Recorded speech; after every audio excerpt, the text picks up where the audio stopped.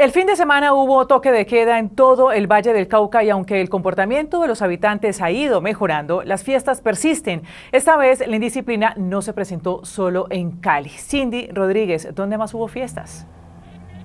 En varios municipios, Ana, pero le quiero contar de Palmira porque hasta allá llegó un grupo, al parecer de caleños, que alquiló una finca creyendo que allí podían armar la fiesta y que nadie los iba a descubrir. Lo cierto es que llegó la policía y no solo los sancionaron, sino que también capturaron a varios de ellos.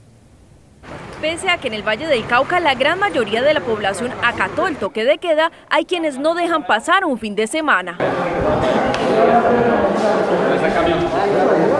En Palmira, unas 50 personas alquilaron una finca para enfiestarse. Las autoridades los encontraron junto a decenas de botellas de licor y estupefacientes. Se logra la captura de cuatro personas por violación a medidas sanitarias, una de ellas reincidente en esta conducta. Asimismo, se imparten 51 órdenes de comparendo a todos los asistentes. Aunque en Cali el puente festivo estuvo empañado por borrachos en la calle, escándalos entre vecinos y un total de 165 fiestas intervenidas, las cifras reflejan una disminución en la indisciplina. Riñas, violencia intrafamiliar, sonidos a alto volumen, pero en particular rumbas intervenidas en vía pública resultan muy inferiores a los presentados en los fines de semana anteriores. En Cali, 650 ciudadanos fueron sancionados por violar las medidas sanitarias y en el resto del departamento seis personas fueron capturadas por las mismas razones.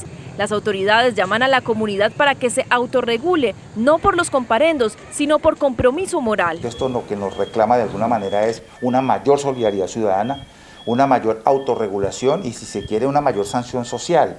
No todos estos fenómenos pueden ser necesariamente intervenidos con el código de policía. En otros municipios del Valle del Cauca fueron intervenidas 31 fiestas y 16 riñas.